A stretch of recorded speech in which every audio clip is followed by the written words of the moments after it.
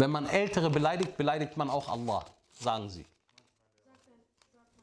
Ah, nee, das ist nicht richtig. Aber der Prophet sallallahu alaihi wasallam sagte uns in einer Überlieferung bei Imam Ahmad, derjenige, der nicht die Älteren respektiert, wertschätzt, sie ehrt.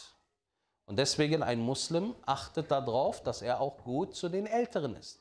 Und wer nicht zu den Jungen barmherzig ist, so gehört er nicht zu uns, sagte Rasulullah sallallahu alaihi wasallam. Deswegen sollte man darauf achten, dass man die Älteren ehrt und auch die Jüngeren Barmherzigkeit erweist. Wallahu ta'ala ala wa alam.